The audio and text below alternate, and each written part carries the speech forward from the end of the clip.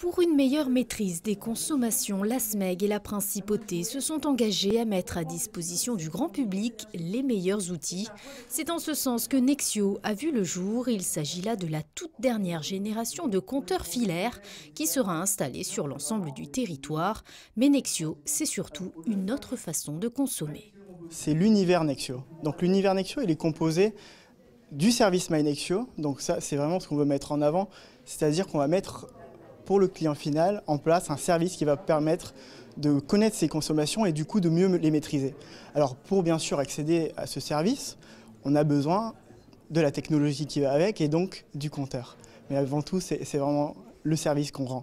Ensuite, ça va permettre de faire des actions à distance, telles que la relève à distance, des opérations à distance, notamment des mises en service. Si vous, si vous emménagez dans votre logement, on sera capable en moins d'une heure, quand vous vous présentez à la SMEG, de faire des mises en service. Donc c'est une grande avancée et ça améliore énormément notre qualité de service. La mise en place de l'univers Nexio est une illustration concrète de l'engagement du gouvernement princier dans une démarche d'économie décarbonée dans laquelle la maîtrise des consommations représente un enjeu fondamental. C'est un formidable outil pour pouvoir maîtriser sa consommation énergétique en principauté de Monaco. Et donc c'est un formidable outil pour nous aider à réaliser notre transition énergétique, puisque je vous rappelle que les engagements pris par le souverain lors de la conférence, la COP 21 à Paris, étaient très ambitieux.